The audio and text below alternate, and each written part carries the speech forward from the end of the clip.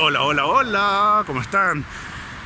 Les voy a grabar un video, que ya lo grabé en verdad, que va a quedar largo, pero es de reflexiones, ya, de reflexiones de la vida. Voy a hablar sobre eh, volver a la vida más análoga, sobre las amistades hipócritas, sobre los tiempos de sobreinformación en los que estamos metidos, eh, sobre la madurez que se pudo haber alcanzado si es que reflexionaste lo suficiente pasando tiempo a solas el año 2020 de la pandemia etcétera. Si quieres saber todo eso, no te pierdas este video, que te va a parecer un poquito largo, pero hablo todos esos temas.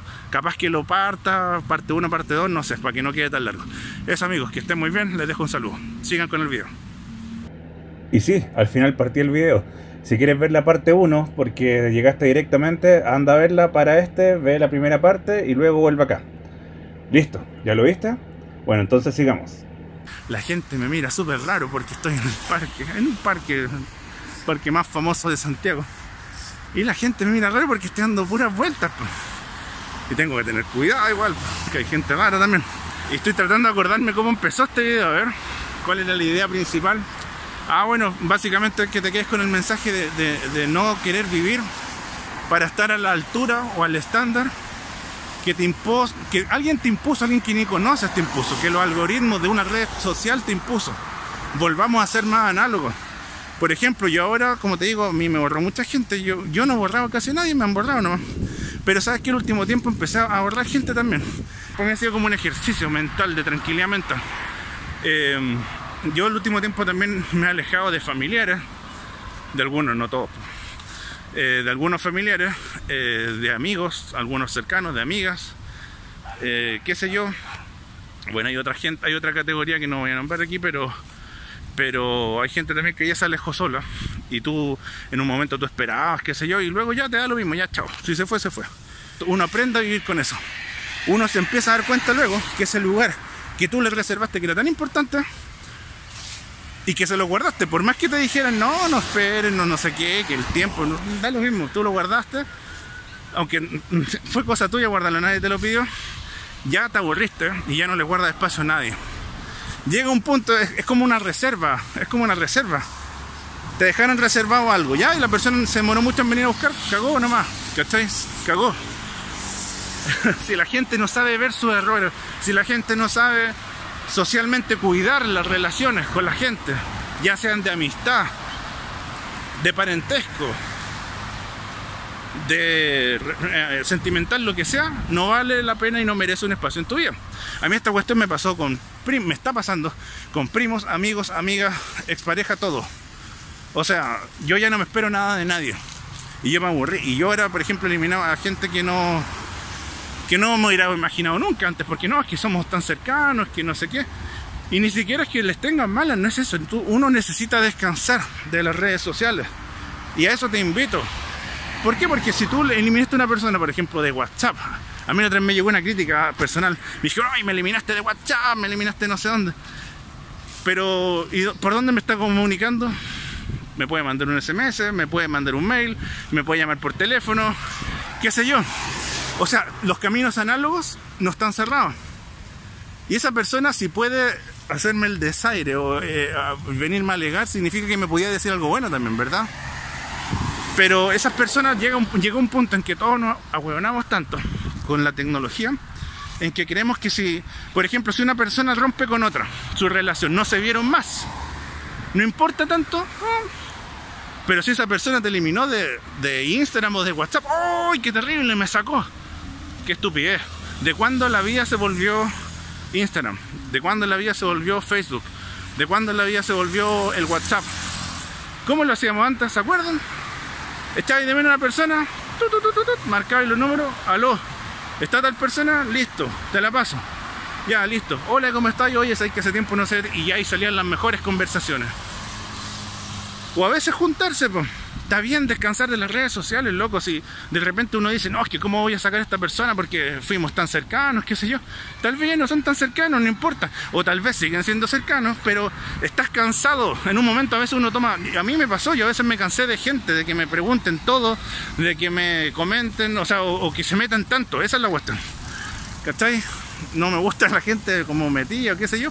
O de repente también hay gente que aparece tarde, mal y nunca y para puro pedirte un favor, puta, esos huevones que me cargan, me cargan. Y lo peor de este caso es que después tú te enteras y no, si esa persona estuvo hablando mal de ti, son los que peor hablan de ti, no aparecen nunca.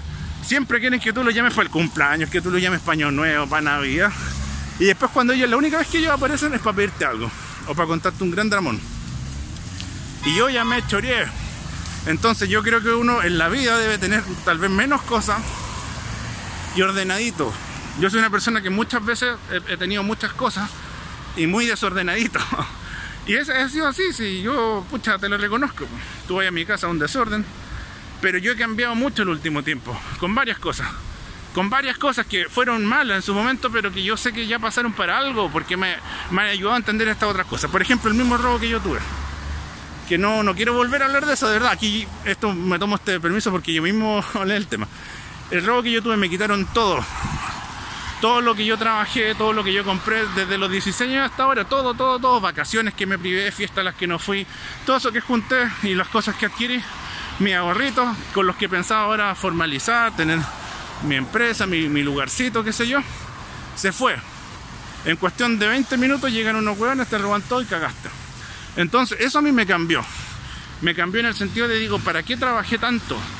¿Por qué? Por ahorrar, por una recompensa futura, incierta, que uno no sabe, se puede morir mañana. Eh, deja de vivir momentos con gente que ya algunos ni siquiera están en este mundo. Y ahora qué daría esa plata que ya no la tengo, que ya nunca, que la junté con tanto esmero, años y años y años y años de juntar, para que después se la gaste otro weón que en 30 minutos te sacó todo. Eh, es muy injusto, duele mucho, duele mucho, uno se desmoraliza, te hay lleno de trauma, de desconfianza eh, proteges tu casa si la blindas, pones perros, chapas, cinco chapas, seis chapas eh, de seguridad, un perro súper rabioso, cámaras de tu puta, ya. Pero al final, eh, eso te enseña a que lo más importante es tu vida. Y lo más importante, ¿te das cuenta? Yo perdí mi, mi, plato, obvio que me, me dolió mucho, ¿cómo no me va a doler? Porque esa no solo es tu plata, es tu tiempo. Todo tu tiempo libre que tú usaste en trabajar y en producir y en juntar algo durante 16 años, se fue. No, 18 años incluso. Se fue. Entonces lo que te robaron no solo fue, fue plata, fue tiempo. Fue tiempo. ¿Qué daría yo por volver atrás y decir, puta, cuando me invitaban a esas fiestas de Año Nuevo, esas fiestas caras, eh, que yo veía como un, derroche muy grande, puta, haber ido. Mi vida hubiera sido distinta muchas veces. Quizás donde estaría ahora. Y yo no lo hacía porque si no, es un mal gasto. Así como Ebenezer Scrooge, todo para guardar y, no viví momentos. Entonces ya, e, esa, experiencia a mí me enseñó eso. Y no solo eso, sino que yo dije, chucha, no están mis cosas, no está mi equipo, no está mi plata, se la llevaron. Pero sabes que yo dije, oh, están mis libros, están mis fotos familiares. ¿Te das cuenta? O sea, llega un punto en que tú, eh, eso es lo que te... Estoy bien, mi familia está bien, mis fotos familiares están y mis libros están. Las otras cosas, el equipo, puta, una cámara, duele mucho, es caro, pero te puedes comprar otra. La plata duele muchísimo, muchísimo, no te imagináis cuánto. Pero bueno, tarde o temprano las vas a volver a recuperar. O sea, un billete de 20 mil pesos igual que otro billete de 20 mil pesos. A eso voy. Esos mismos billetes después pueden volver a mis manos perfectamente. Bueno, quizás cuánto tiempo va a pasar, pero se puede.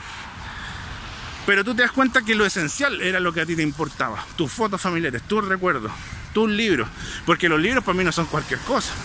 Y de ahí, por favor, recuérdame que te quiero grabar un, video sobre los libros. Tengo mucho que decirte sobre, o sea, no sé si mucho, pero por lo menos unas cuatro cosas sobre los libros. Acuérdame, por favor, un video sobre los libros. Los libros no se demora años en juntarlos. En cambio, por ejemplo, una cámara, tú sabes qué cámara era, qué modelo era y son todas iguales. Eh, hay alma en los libros, por ejemplo. Y bueno, eh, para no alargarme tanto, después también tuve un accidente. Yo ese accidente que ya más o menos les conté que tuve en bicicleta, si quieres saber más detalles anda el video que es donde dice la ruta hierba loca, ahí va a ver que como en la mitad del video yo te cuento, un accidente muy grave que puede haber sido mortal que tuve en bicicleta. Pero sabes que ese no, no, ha sido la última, el, el único hecho grave del que yo me salvé. Yo me puedo haber muerto varias veces con otras cosas que para qué voy a contar acá. Los más cercanos saben. Luego uno se pregunta también, ¿por qué te salvas una vez cuando te pasa algo así? ¿Por qué te salvas dos veces cuando te pasa algo así? Incluso, ¿por qué te salváis tres veces cuando te pasa algo así? Sí, chuta, y a veces contra pronósticos. Y, tú, y después te enterás que hay gente que tuvo accidentes mucho menores, que estaban en condiciones mucho mejores físicamente. Digamos, no es lo mismo caerse pesando 134 kilos que pesando 70 kilos. Y la velocidad, qué sé yo, yo en bicicleta conozco gente que pesa 70 kilos versus mi 134, que se ha caído en plano. Yo me caí en pendiente y encima giro cerrado, por ejemplo. Tienen caídas más leves y al final quedan con daños más graves. Eh, y uno dice, ¿por qué? Y ahí te das cuenta de algo súper valioso, que es que la vida se te puede ir en cualquier momento. Y no lo digo de depresivo, no me voy a poner emo para nada. Lo digo de... eh, es sumamente importante. Para mí fue un regalo a la larga que me pasará eso. O sea, porque primero ya es menos probable que me vuelva a pasar, uno va aprendiendo. Y segundo, porque tener conciencia de tu propia muerte, de que algún día va a llegar, no de si va a llegar, de cuándo va a llegar, porque todos lo único que tenemos seguro en el mundo desde que nacemos es que nos vamos a morir. No sabemos cuándo. Pero todos sabemos eso. Nosotros nos vamos a morir, nuestra gente querida, los familiares, todos lamentablemente se van a morir. Prepararse para eso es muy difícil.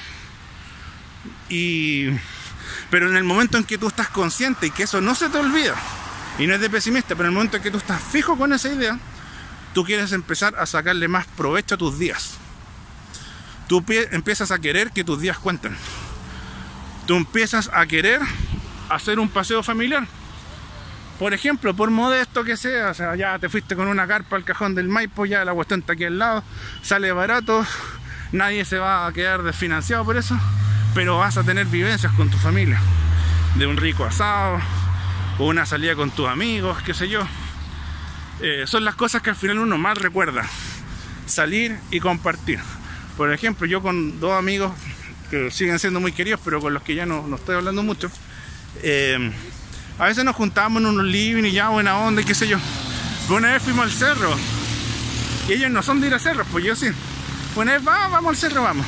Y ahí compartimos, nos tomamos una cervecita, comimos unas golosinitas, qué sé yo, y caminamos. Y eso fue súper bonito, para mí por lo menos. Y yo creo que para ellos también. Porque yo estoy acostumbrado al cerro solo. Y eso también tiene que ver otra cosa, otro tema más, puta, que se alarga este video. La soledad, yo valoro mucho mi soledad. Y encuentro que es bueno. A mí me gusta estar con gente. No vaya a querer que soy un antisocial, no, para nada. Yo soy sociable, pero me gusta ser sociable a ratos, a momentos. Y que esos momentos sean buenos momentos. Porque hay gente que quiere estar con gente todo el día. Y yo digo, bueno, esto bueno, ¿a qué hora piensan? ¿A qué hora reflexionan? ¿A qué hora se encuentran? Suena muy cliché, yo sé, pero ¿a qué hora se encuentran con ellos mismos?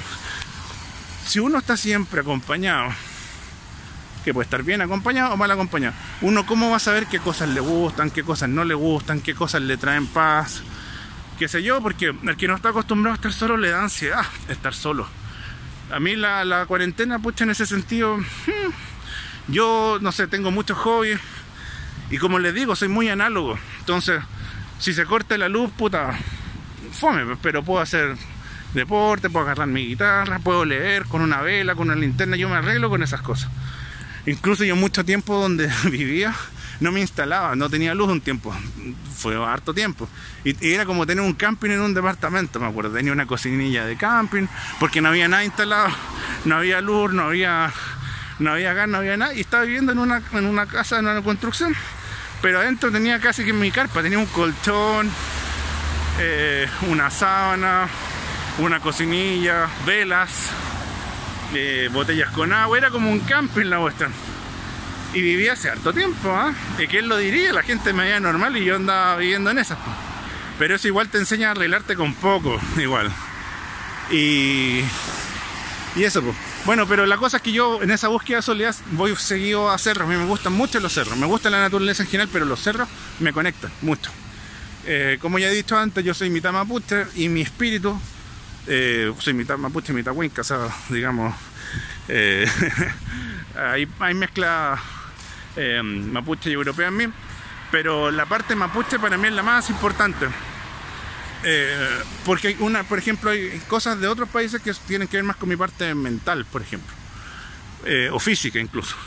Pero mi parte espiritual es muy mapuche. mi conexión con la tierra, el valor que le doy a los ancestros, eh, el respeto también que siempre le voy a guardar a las personas mayores. Eh, esas cosas que se han perdido mucho, el estar en contacto con la tierra. Mira, ahora mismo yo estoy aquí, en la tierra. Me gustaría sacarme los zapatos y andar caminando, pues tendría que ir mi zapatilla en la otra mano. Yo necesito la tierra. A todos nos gusta la naturaleza, yo sé. Nos falta el que me diga, ay, ¿qué tiene de especial? Para mí, y para otros, yo creo que gente de ascendencia indígena, en especial mapuche, no es que nos guste la naturaleza. Nosotros somos la naturaleza. Y así lo entendemos. Hay muchas costumbres, algunas son ancestrales, que no voy a decir aquí, yo creo que el Bocuinca no la saben. Pues nosotros, o sea, ya bueno, algunas que van en el nacimiento ya, pero en la muerte todo ya, wincamente lo voy a decir, o sea, para que lo entienda todo el mundo. Cuando todos nos morimos nos entierran y ¿qué hacemos? Volvemos a la tierra. Punto. Somos tierra. De ahí salen plantas, de ahí de repente hay gente que se quema, que hay ceniza, el viento se la lleva o van al mar. Nosotros somos naturaleza, nosotros somos los elementos, nosotros somos el espíritu, somos el Nehuen. Y yo tengo mi cultura bien entendida, lejos de ideologías políticas sesgadas, destructivas y odiosas. Eh, yo estoy muy orgulloso de mi parte mapuche, de mis ancestros y de mi espiritualidad. Bueno, volviendo al ejemplo de nuevo. Pucha, disculpa que sea tan, tan de alargarme. Pero bueno, si te caigo bien este video lo voy a ver. Yo sé que hay poca gente que ve los videos completos, los largos, pero los ven, así que... O capaz que este video lo suba por partes, total. La cosa es que eh, cuando yo voy al cerro voy solo, ¿cierto? Ya, pues, pero cuando fui con mis amigos ellos no estaban acostumbrados y se escuchaba el silencio. El silencio se escuchaba. Ahí pasó una auto y me lo cago todo. Te estoy hablando del cerro, estoy en un parque, me entenderás, pero cuando tú estás en la naturaleza, tú escuchas el silencio. Cuando tú vas a la precordillera, tú escuchas no solo el silencio, sino que la montaña, la montaña no habla, pero la montaña tú la ves con los rayos del sol, tú ves todos los elementos. Tú pisas la tierra, tú recibes los rayos del sol. Y cuando el atardecer, que es mi parte favorita, la más linda, y te lo dije en el video cuando llega hierba loca, el sol, los rayos del sol llegan laterales. Y ahí tú ves la cordillera o los cerros como una masa en su volumen, con una silueta sinuosa muy linda, con un color, un amarillito tenue, muy lindo. Entonces ahí el sol es el fuego, uno de los elementos, la tierra que tú estás pisando, otro elemento. Eh, los sonidos que te trae el viento, otro elemento más. Y yo estaba casi que me moría de sed y mi cuerpo necesitaba para vivir agua. Ahí tenéis los cuatro elementos. Y lo que me hizo llegar arriba, después de, en total la subida, si sumáis la ruta 22 kilómetros y medio, más la salida de mi casa, fueron 40 y... Em, ay, chucha, fueron 44 kilómetros de pura subida. Y de los cuales 22 y medio fueron en precordillera. Y después la bajada, pues al final fue una ruta de 80 y 8 y tantos kilómetros en total, de los cuales la mitad fue en precordillera. Y quizás no me quiero poner hippie, yo no soy como alguien hippie, pero es que yo no soy posero, eso es otra cosa. Por lo que te estoy diciendo, si lo hubiera escrito, si te lo digo más lento, hermano, y pongo un incienso, tal vez te sonaría hippie. Y, y, yo desconfío un poco de esa gente igual porque ¿cuántos hippies hay que te venden su hippismo con sus cuestiones, eh, esotéricas, sus cartas sus cuestiones. Yo conozco un montón de gente que se las da de espiritual. Y, de la verdad, cuando uno los conoce bien, te das cuenta que no tienen nada espiritual.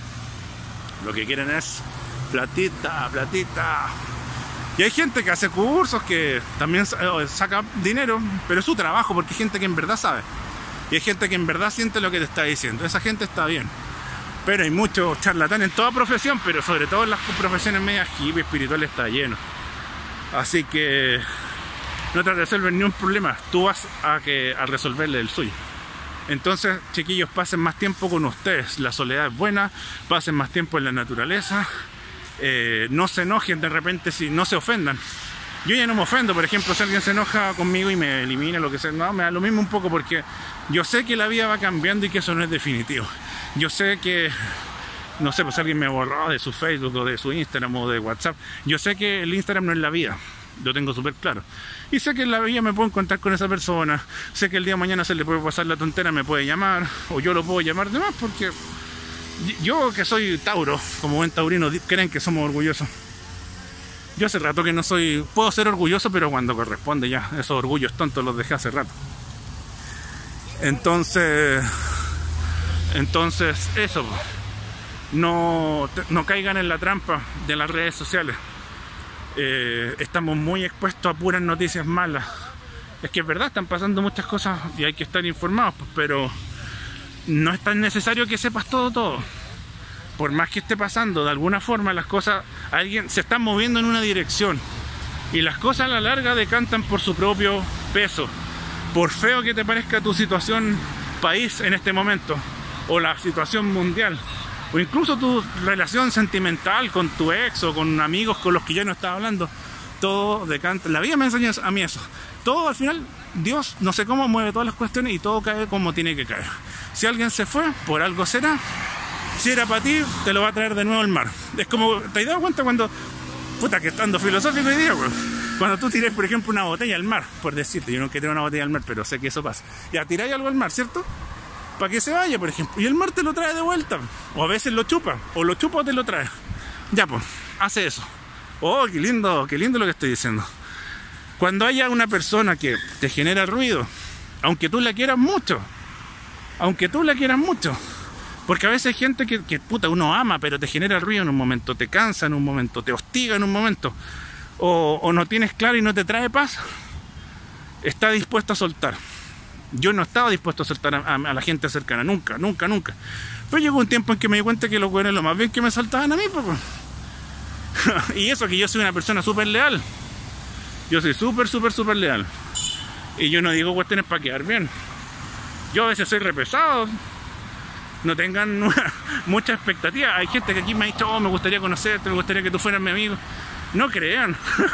no crean, sí. Es que yo a veces no es que sea pesado porque sí el tema es que yo como me gusta la soledad y me gusta mi espacio, no me gusta mucho que me invadan mi espacio y me gusta estar solo. Entonces a veces me encuentran un poco pesado porque me dicen juntemos y yo digo que no. O, cualquier cuestión. Pero no es de pesado. Ah, retomando el tema del ejemplo del mar. Si tú estás en el mar, ves las olas que vienen a ti, tú estás en la arena y resulta que tú tiras una botella, por decirte algo, y el mar puede chupar la botella Tú tienes que estar dispuesto a lanzarla, eso sí. Y el mar puede chupar la botella y tú no la ves más. ¿Qué significa? Que no era para ti. Si tú tiras la botella, estás dispuesto a soltarla y el mar te la trae de vuelta. El mar es sabio. Era para ti. Ahora, piensa que la botella es esa persona, esa relación, esa persona que tal vez ya no, no sabes que si la cosa está muy bien, que etcétera, esa persona que tú sabes que a lo mejor tienes que poner la prueba, saber si es que estás dispuesto a soltarla o no. La vida reordena todo, la vida a la larga pone todo en su lugar. Entonces hay que estar dispuesto a soltar y luego ver si la vida te lo trae de vuelta o ver si valía la pena para que tú lo vayas a buscar de vuelta. Imagínate tiraste una botella y le dices a tu hermano, oye, tiré la botella y tu hermano dice, no, tonto, adentro metí mil pesos. No, y tú vayas a buscar la botella porque esa botella valía. Esa botella tenía más valor del que tú pensaste que tenía cuando la tiraste. Entonces tú vayas a meterte al agua y la vayas a buscar, ¿cierto? Eso también pasa. Y tú vas a tener que saber identificar esta metáfora, ¿ya? A veces, paso uno, estar dispuesto a soltar y tirar la botella. Después paso dos, aceptar si el mar se la lleva y no aparece más. Paso tres, saber recibir si esa botella vuelve. Porque la vida por algo te está mandando eso, ¿te das cuenta? Y también saber darte cuenta, desprovisto del orgullo, de si te equivocaste tal vez al lanzar esa botella y había algo más valioso, que con el tiempo te diste cuenta que había algo más valioso y que la cagaste y saber ir a buscar esa botella. Eso es súper importante porque tampoco quiero caer en, ese consejo simplón que te dicen, ay, déjalo ir, déjalo ir, déjalo ir. Después los dos huevones vieron lo mismo, el mismo video, o se leyeron el mismo libro y los dos, ay, déjalo ir. Y los dos tontos nadie se busca. ¡Idiota! Eh, ah, y este video por favor no es indirecta para nadie, ni ninguna cosa. Este video lo ve mucha gente, así que por favor dejen de pensar ser tan egocéntricos que pensar que todo lo que digo, ay, lo dice por mí, lo dice. No, no, no, no, no. Esta cuestión no lo digo por nadie. Son mis experiencias, son mis procesos, pero yo lo digo, no lo digo para desahogarme yo. Aunque de pasadita un poco. Sino que lo digo porque estas mismas situaciones que uno vive, todos vivimos lo mismo al final. Y le puede servir a otra persona. Así que estas cosas son bien generales. Bueno, y eso entonces lo que te quería decir finalmente que la vida no es Instagram, la vida no es WhatsApp, la vida no es Facebook. Te recomiendo que hagas como dieta un poquito de esas cosas, porque las necesitamos. Pues es muy difícil no tener WhatsApp. Si no tenéis WhatsApp ahora no puedes ni trabajar, ni estar en contacto con tu familia adecuadamente. Pero ponte horarios, por ejemplo, hay días que yo, yo por ejemplo, cuando duermo apago el celular, pero ahora hay veces que estoy perfectamente despierto y lo apago porque quiero estar tranquilo y chao, después lo prendo y me carga que me lleguen como reclamos, ay, ¿por qué aquí sale que la última hora que te conectaste es tal hora? Puta, que lata que estén tan pendientes de ti, bueno, que te preguntan, ¿a qué hora te levantaste? ¿A qué hora te acostaste? Ay, no, no, no. Entonces, es muy sano, ve todo después, así, es muy sano abstraerte un poco de esa cuestión. Eh, más encima, ni hablar de la productividad, puta, no sé, si uno, Instagram está hecho para que uno vaya bajando, vaya bajando, vaya bajando y, vea quién es más pintamono y pierda un montón de tiempo.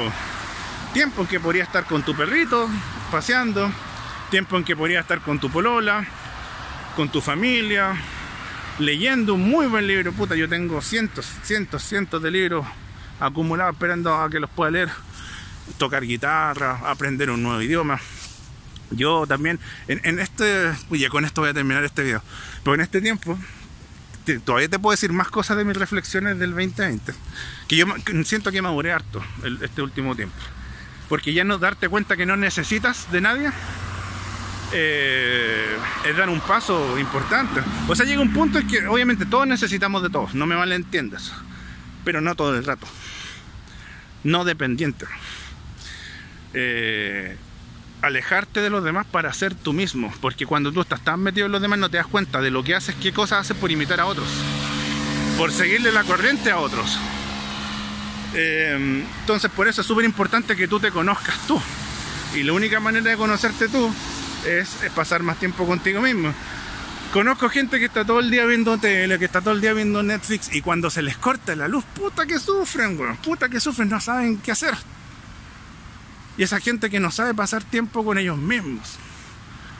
Y es súper sano, así que a veces incluso sería lindo eso. A mí me gusta cuando se corta la luz un rato, así, por una hora, una cosa así. Si no, no me conviene. Pero de repente apaga todo, corta la luz de tu casa si quieres un día o una hora. Y pasa silencio, usa una vela. La vela más encima del fuego, o sea, tiene una conexión neuronal con lo primitivo del ser humano. Porque no es tan así nomás, sino es una cuestión de, ay, ¿para qué voy si tengo electricidad? No, se trata de algo análogo. Vuelvo al tema, a lo análogo. A sentir lo análogo. Lo análogo de un amigo. No de mandarle un emoji. Te das cuenta de darle un abrazo. ¿Cachai? Tal vez lo, nos juntamos poco, pero cuando lo veo le doy un abrazo, es tiempo de calidad. En cambio, conversaciones vagas. Porque las conversaciones en WhatsApp son vagas igual. Tú habláis todos los días, o día por medio. Entonces habláis pura lecera, de repente ni te despedí, a veces ni saludáis. Porque da todo lo mismo. Porque es comunicación de baja calidad. A mí me gusta, por ejemplo, que el WhatsApp sea para ponerse de acuerdo. Eso sí, para eso es bueno. Para ponerte de acuerdo y todo. Pero lo demás, seamos análogos. Saludemos a la gente que, nos interesa de verdad. Eh, pasemos tiempo con, con ellos.